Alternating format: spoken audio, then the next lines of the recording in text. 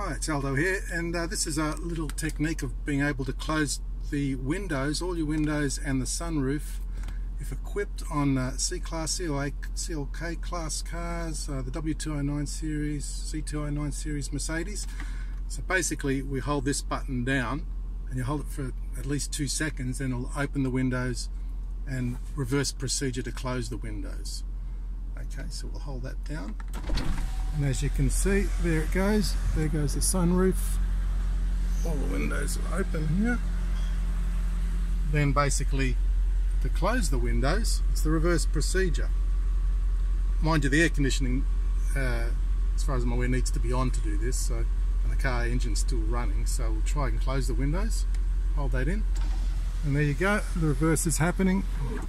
Magic. Anyway, just a quick video on the instructions on the summer function on the Mercedes CLK model and C-Class models. Aldo signing out.